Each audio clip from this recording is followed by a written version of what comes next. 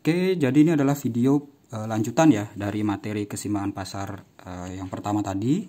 Jadi di bagian pertama kita sudah menghitung dan uh, mencari grafiknya. Jadi tadi di video pertama terpotong ya untuk grafiknya. Jadi kita lanjutkan PE dan QE. Jadi P-nya itu adalah 4, kemudian QE-nya itu adalah 6. Jadi ini adalah grafik dari keseimbangan pasarnya ya.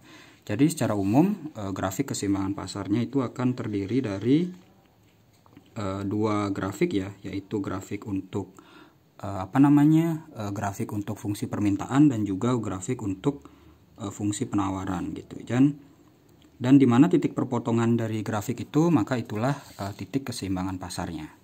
Jadi teman-teman uh, coba perhatikan fungsi dari permintaannya ya. Kita sudah dapat tadi fungsi permintaannya itu adalah uh, min P tambah 10 jadi ini garisnya ya, min P tambah 10, kemudian yang fungsi penawaran itu adalah 2P eh, minus 2, itu garisnya ini.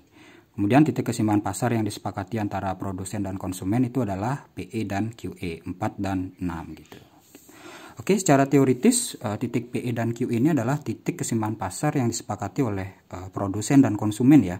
Jadi produsen dan konsumen itu sepakat mendapatkan kuantitas barang itu sejumlah 6 pada tingkat harga 4 gitu. Jadi kalau kita lihat soalnya, kalau kita lihat soal ini ya, maaf, kalau kita lihat soal ini, itu konsumen dan e, produsennya tidak bertemu ya, atau tidak mengalami kesepakatan ya, di mana e, harga per unitnya itu berbeda, kemudian kuantitas yang diminta itu berbeda, kemudian kuantitas yang ditawarkan itu juga berbeda. Nah sekarang keseimbangan pasar itu berfungsi untuk mencari titik temu gitu ya antara e, produsen dengan konsumen berapa sih harga yang disepakati dan berapa kuantitas yang disepakati pada tingkat harga itu gitu. Jadi itulah uh, fungsi dari keseimbangan pasar. Jadi dengan menghitung keseimbangan pasar ini, kita tahu bahwa di dalam pasar yang di soal tadi, maka harga keseimbangannya itu adalah 4, kemudian kuantitas keseimbangannya adalah 6. Dengan kata lain, 4 dan 6 itu adalah kuantitas yang disepakati oleh produsen dan konsumen dan 6 itu adalah kuantitas yang disepakati oleh produsen dan konsumen. Artinya bahwa produsen dan konsumen itu sama-sama menawarkan harga dan barang e, membeli barang itu pada tingkat harga 4 dan juga pada tingkat harga 4 itu akan mendapatkan kuantitas barang sejumlah 6 gitu. Jadi fungsi keseimbangan pasar itu adalah mencari titik temu ya antara e, keinginan produsen dengan keinginan dari konsumen.